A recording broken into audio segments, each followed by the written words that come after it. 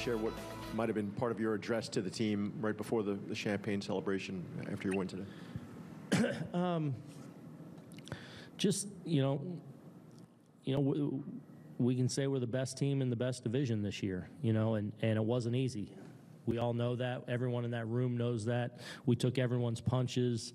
Um, you know, we had some low moments, um, but you know, tonight is to be celebrated. You know, it's not easy going through the American League East and survive and be the team. You know, especially when there's other teams in the division like the team we're playing right now. Um, you know, so I think we all understand that, you know, this is step one and, and we want to win a championship. That's our goal. Um, but tonight deserves to be celebrated, especially all the things you face in the course of the season and especially the adverse times. Um, tonight's a, a night now to pause and, and appreciate one another. Aaron, winning the division was the goal you talked about in spring training, the first goal. Uh, what was the feeling there as far as you're counting down outs and just saying we're almost there? Yeah, I, I mean, I'm never, I'm never comfortable. You know, even in some of the leads, we got huge leads. I'm always, you know, um, so yeah, every out is, excuse me, big and and you know, it's a, it's a little bit of a culmination of of a lot of work. Um, new members to the staff. Um, you know, thinking back to the you know, winter where you're having meetings, preparing, going through the lockout, not having contact with players. You know, this is this is a lot of hard work and and a lot of a lot gets poured into this. Um, and we're now six, seven months into this, including spring training, and and uh, it, it's it's kind of that exhale and excitement because. Um, again, I, I don't think at the start, not necessarily everyone had us pegged for this.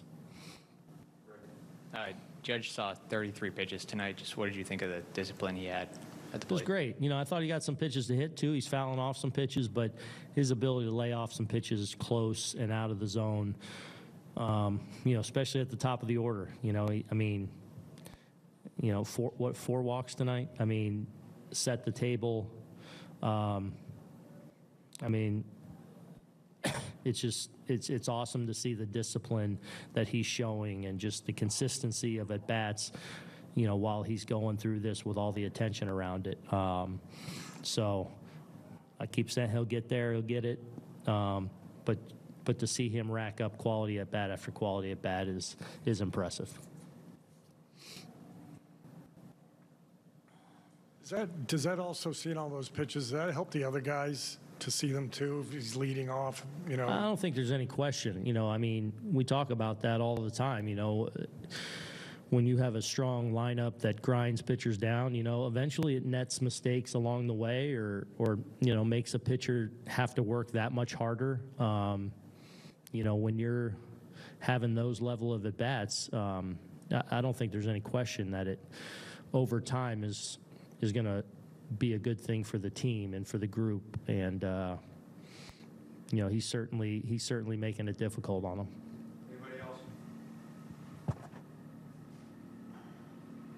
Judge said he wouldn't ask for a day off until you guys clinch, so does he play tomorrow? Um, I'm going to go in there and start to sort that out. Um, we'll see.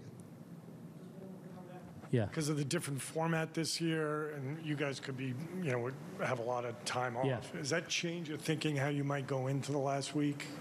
Yeah, a little bit. I mean, now we'll start to be strategic with, um, you know, obviously, on, I, th- I think we're going to have five days off in between the last game and, and the start of the division series. So, you know, we'll probably take a, a day off, mostly as a group after that last day, and then probably have some some form or shape of some inter squad, live BP, uh, simulated type stuff for a couple, at least a couple of those days, um, and just kind of map it out as we can, and you know, and, and and be a little more strategic with, you know, now.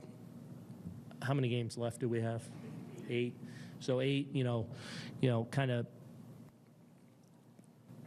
wanting to get certain guys in in certain situations. You know, you know, obviously want to get Britt and Chappie throwing and, you know, be a little mindful of starting pitchers and, you know, how far we want to push them and things like that. Those will be all things that we kind of talk about here and, and try to be strategic and strike that wanting to be really competitive with, with also wanting to be smart and, and preserve guys.